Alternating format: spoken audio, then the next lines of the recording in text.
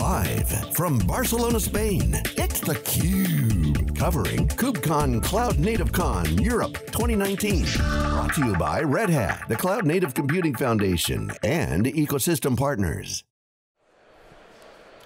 Welcome back. This is theCUBE's coverage of KubeCon Cloud Native Con 2019. I'm Stu Miniman, and my co-host for two days wall-to-wall -wall coverage is Corey Quinn. Happy to welcome back to the program first, Ben Sigelman, who is the co-founder and CEO of Lightstep, and welcome to the program a first time, Morgan McLean, uh, who's a product manager at Google Cloud Platform. Gentlemen, thanks so much for joining us. Thanks for having us. Yeah. All right, so this was a last minute ad for us because you guys had some interesting news in the keynote. I, I, think the feedback everybody's heard is there's too many projects and everything's overlapping and how to make a decision, but interesting piece is OpenCensus, uh, which Morgan was doing in Open Tracing, which Ben and Lightstep were doing, are, are now moving together for Open Telemetry, if, if I got it right. Yep. So, uh, you know, is it just everybody's holding hands and singing Kumbaya around the Kubernetes campfire, or you know, is, is there something more to well, this? Well, I mean, it started when the CNCF locked us in a room and told us there were too many projects and really wouldn't let us. to be fair, they did actually take us to a room and, and uh, really start the ball rolling. Um, but conversations have picked up for the last few months, uh, and at least personally, I'm just really excited that it's gone so well. Like yeah. um, initially, if you told me six or nine months ago that this would happen, I would have been, given just the way the projects were going, both were growing very quickly. I would have been a little skeptical. Um, but like seriously, this merger's gone beyond my wildest dreams, and it's awesome both to unite the communities. It's awesome to unite the projects together. What has the response been from the communities on this merger? Very positive. Yeah. Very positive. I mean, Open Tracing and Open Census are both uh, projects with like healthy user bases that are growing quickly and all that. But the reason people adopt them is to future-proof their own software because they want to adopt something that's going to be here to stay.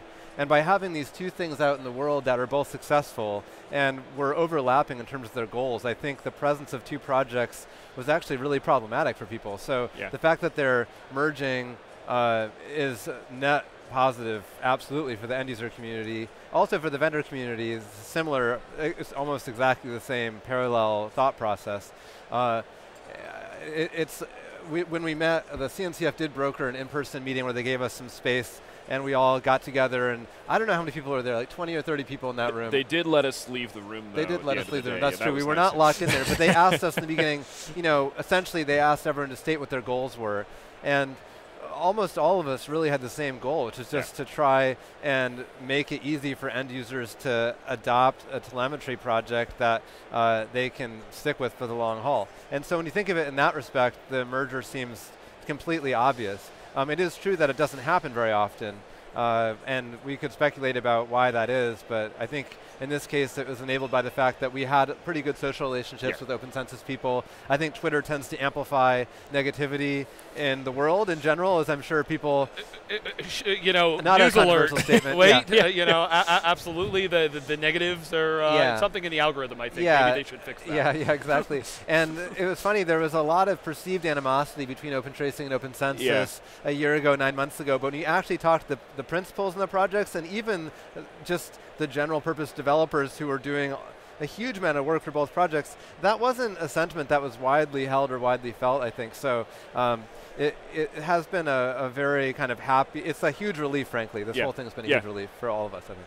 Yeah, it, it, feels like the, the general ask has always been that for tracing that doesn't suck. And that tends to be a bit of a tall order. The, the way that they seem to have responded to it is a credit to the maturity of the community. But, and I think it also speaks to a growing realization that no one wants to have a monoculture of just one option, any color you want so long as it's black, versus there's 500 different things you can pick that all stand in that same spot, and at that point analysis paralysis kicks in. So Yeah. this feels like it's a net positive for absolutely Definitely. everyone involved. Yeah, like I, one of the anecdotes that, that Ben and I have shared throughout a lot of these interviews is um, there were a lot of projects that wanted to include uh, distributed tracing in them. So various web frameworks, um, I think, was it Hadoop or HBase was... was HBase and HDFS were jointly deciding what to do about instrumentation. Yeah, and, and so they would publish an issue on GitHub and someone from Open Tracing would respond saying, hey, Open Tracing does this. And they'd be like, oh, this is interesting. Uh, we could go build an implementation, file an issue. And someone from Open Census would respond and say, no, wait, you should use Open Census. And with these being, you know, very similar yet incompatible APIs, these groups like HBase would sit it and be like, this isn't mature enough. I don't want to deal with this. I've got more important things to focus on right now. And rather than even picking one and ignoring the other, they just ignore tracing, right? And like with things moving to microservices, with Kubernetes being so popular, I mean, just look at this conference. Uh, it distributed tracing is no longer this kind of nice to have when you're a big company. You need it to understand how your app works and understand the cause of an outage or the cause of a problem.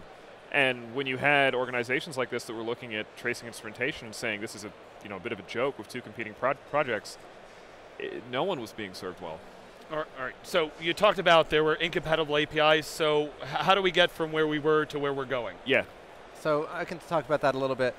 Uh, the APIs are conceptually incredibly similar, and what the part of the the criteria for any new language for OpenTelemetry are that we are able to build a software bridge to both OpenTracing and OpenCensus that will uh, translate existing instrumentation alongside OpenTelemetry instrumentation and you know emit the correct data at the end. And we've uh, built that out in Java already, and yep. it started working in a few other languages. It's not a tremendously difficult thing to do if that's your goal.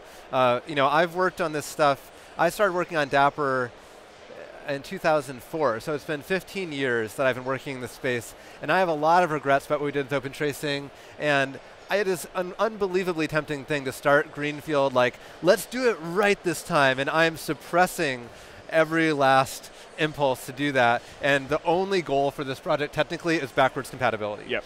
100% backwards compatibility. There's a the famous XKCD comic where you have 14 standards and someone says, we need to create a new standard that will unify across all 14 standards, and now you have 15 standards. So we don't want to follow that pattern. And by having the leadership from Open Tracing and Open Census involved wholesale in this new effort, as well as having these compatibility bridges, we can avoid the fate of IPv6 and Python 3 and things like that, where the new yeah. thing is very appealing, but it's so far from the old thing that you literally can't get there incrementally. So, so th that's our in entire design constraint is make sure the backwards compatibility works, get to one project, and then we can think about the grand unifying theory of ben, observability. Ben, you so. were ruining the best thing about standards is that there are so many of them to choose from.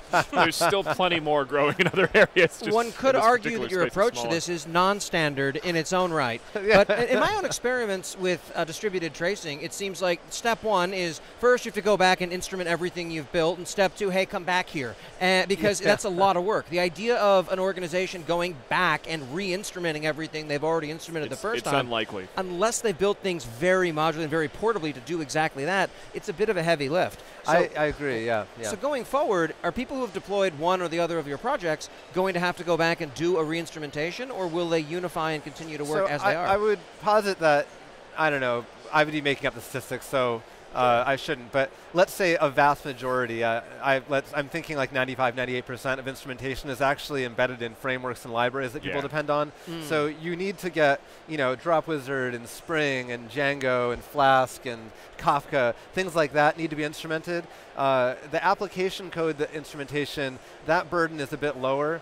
Uh, we announced something called Special Agent at, at Lightstep last week, separate to all of this. Yeah. That's um, it's kind of a funny combination. A typical APM agent will uh, interpose on individual function calls. It's a very complicated and heavyweight thing. This doesn't do any of that, but it takes it basically surveys what you have in your process, looks for open open tracing and yep. in the future open telemetry instrumentation that matches that, and then installs it for you. So you don't have to do any manual work, just basically gluing uh, you know, tab A into slot B or whatever. You don't have to do any of that stuff, which is what most open tracing instrumentation actually looks like these days.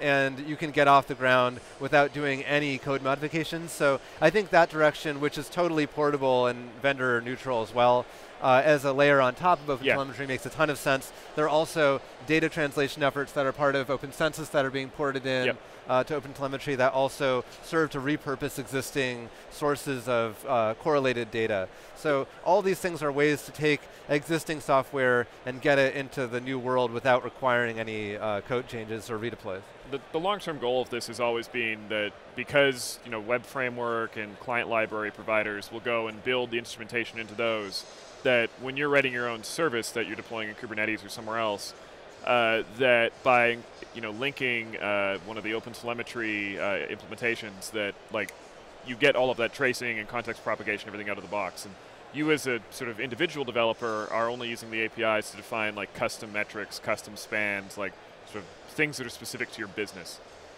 Right. So, Ben, you didn't name Lightstep the same as your project, but that being said, uh, uh you know, a major piece of your business is going through a change here. What does this mean for Lightstep? Uh, that that's actually not the way I see it for what it's worth. Lightstep as a product, since you're giving me an opportunity to talk about it, foolish move on your part. Um, no, I'm, I'm, just kidding. But Lightstep as a product is totally omnivorous. Okay. We don't really care where the data comes from, and translating any source of data that has a correlation ID and a timestamp is a pretty trivial exercise for us. So we do support open tracing. We also support open census yeah. for, what's for what it's worth. Okay. We'll support open telemetry. We support a bunch of weird in-house things people have already built. We don't care about that at all. Um, the reason that we're pursuing open telemetry is twofold. One is that we do want to see high quality data coming out of, of, of, projects. We said it in the keynote this morning, but yep. observability uh, literally cannot be better than your telemetry. If your telemetry sucks, your observability will also suck. It's just definitionally true. Um, if you go back to the definition of observability from the 60s. Uh, and so we want high quality telemetry so our product can be awesome. Uh, uh, also, just as an individual, I'm a nerd about this stuff and I just like it. I mean, a lot of my motivation for working on this is that I personally find it gratifying. It's not really a commercial thing, I just like it. Do you find that uh, as you start talking about this more and more with companies that are becoming cloud native rapidly, either through digital transformation or from springing fully formed from the forehead of some god, however these, these born in the cloud companies tend to be, that they intuitively are starting to grasp the value of tracing? Or does this wind up being a much heavier lift as you start no, um, showing them the golden path, as it were? It's, it's definitely grown. Like, I, I well, like I think the value of tracing, you see that after you see the negative value of a really catastrophic outage. Yes. I mean, I was just talking to a bank, I won't name the bank, but a bank at this conference, and they were talking about their own adoption of tracing, which is pretty slow until they had a really bad outage where they couldn't transact for an hour, and they didn't know which of the 200 services was yep. responsible for the issue. I and that really put some muscle behind their tracing initiative. So typically it's inspired by an incident like that, and then you know, it's a bit reactive. Sometimes it's not, but uh, either way, you end up in that place eventually. I'm a strong proponent of distributed tracing, and I feel very seen by your last answer. but it, it's it's definitely made a big impact. Like, if you came to conferences like this two years ago, you'd have like uh, you know Adrian or Yuri or someone doing a talk on distributed tracing, and they would always start by asking the you know 100 to 200 person audience, who here knows what distributed tracing is, and like five people would raise their hand, and everyone else would be like, no, that's why I'm here at the talk. I want to find out about it. And you go to ones now or even last year, and now they have 400 people at the talk, and you ask who knows what distributed tracing is, and last year over half the people would raise their hand. Now it's going to be even higher. And like, I, I think just like beyond even anecdotes, like clearly businesses are finding the value because they're implementing it. And you can see that through the number of companies that have been interested in open tracing, open telemetry, open census. You can see that in the growth of startups in this yeah. space, Lightstep and others. The other thing I like about open telemetry as a name, it's you know, it's a bit of a mouthful, but that's it's important for people to understand the distinction between telemetry and tracing data and actual solutions. I mean, open telemetry stops when the correct data is being emitted, and then what you do with that data is your own business. And I also think that people are realizing that tracing is more than just visualizing a single distributed trace. Yeah. The traces have an enormous amount of information in there about you know, resource usage, security patterns, access patterns, um, large-scale uh, performance patterns that are embedded in thousands of traces. That sort of data uh, Uh, is making its way into products as well. And I really like that OpenTelemetry has clearly delineated that it stops the telemetry. Open tracing was confusing for people that they'd want tracing and they'd adopt open tracing and then be like, where's my UI? And it's like, well, no, it's not that kind of project. With OpenTelemetry, I think we've been very clear. Is this is clear, about yeah. getting very high quality data in a portable way with minimal effort and then you can use that in any number of ways. And, and I like that distinction. I think it's important. Okay, so how do we make sure that the combination of these two doesn't just get watered down to the least common denominator, or that Ben just doesn't get upset and say, "Forget it, I'm going to start from scratch and you know do it right this time." I I'm not sure I see either of those two happening. Like, uh, to your comment about the least common denominator, uh, like we're we're starting from what I was commenting about like two years ago, like from very little prior art. Like, yeah, you had projects like Zipkin, and Zipkin had its own instrumentation, but it was just for tracing. It was just for Zipkin, uh, and you know, you had Jaeger with, with its own, and and and so I, I don't.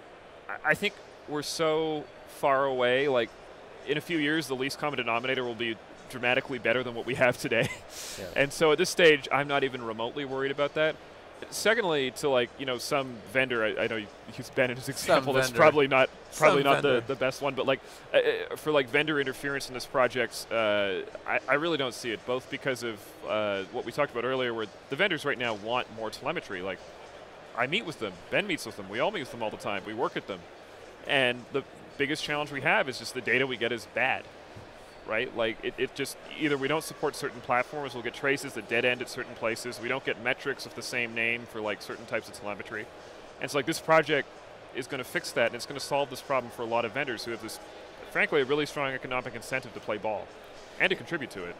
Or do you see that this, um, I guess, merging of the two projects is offering an opportunity to either of you to fix some, or revisit, if not fix, some of the mistakes as they were of the past? I know every time I build something, I look back and it was, frankly, terrible because that's the kind of developer I am. Yeah. But are you seeing this as someone who's probably, presumably, much better at developing than I've ever been, as the opportunity to unwind some of the decisions you made earlier on out of either ignorance or it didn't work out as There well are as a you'd hoped? couple of things about each project that we I, we see an opportunity to correct here without doing any damage to the compatibility story.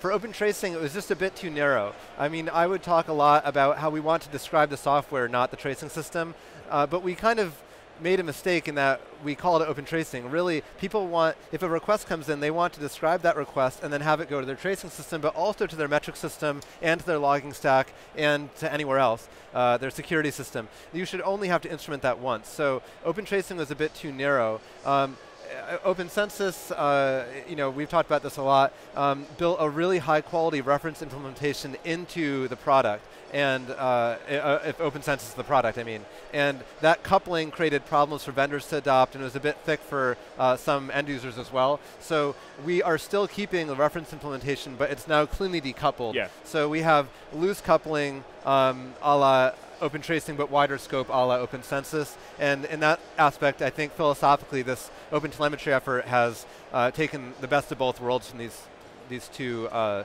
projects that it started with. All right. Well, Ben and Morgan, thank you so much for sharing.